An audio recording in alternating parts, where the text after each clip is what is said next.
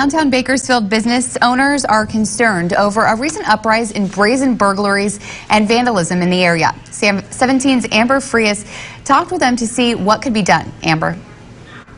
Kristen, I spoke with four different business owners and they all expressed the same concern. Something needs to be done. It's out of control.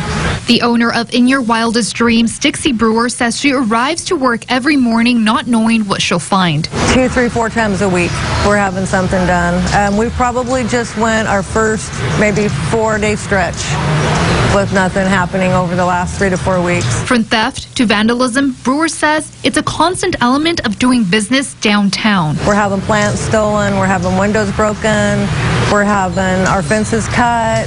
Um, our gate locks are cut. This woman, caught on camera, is walking with a hammer in hand.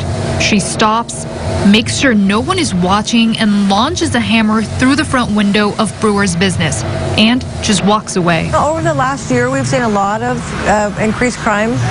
In the last six months, a lot more. In the last three months, it's just become, it's overcome us. Brewer isn't alone. We've been broken into seven times. The first time was like in the very beginning of July, and then the last one was probably like three weeks ago. Carly Elmore tells me the crime has gotten so bad they've had to hire overnight security, adding it's never the same person doing the damage.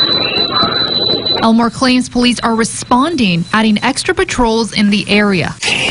But Cynthia Price, who owns Blue Oak Coffee, shares a different story. Well, we just had a, an incident recently where a homeless person came in and got aggressive with us, and when we called, they wouldn't come out. Uh, when we called back, they stopped answering the phone. Street, Happy Jacks employees are also concerned about police response. As we contacted the Bakersfield Police Department. We asked them to come out at 6 o'clock when it was slow. They said they don't come out after 5. They only come out during business hours between 8 and 5. The feedback business owners received from BPD, they are understaffed and therefore limited in what they can do. Now, I contacted Bakersfield Police, and so far the department hasn't commented. Dixie Brewer says she wants to start a Facebook page with local business owners sharing photos and videos from security cameras. Amber Frias, 17 News.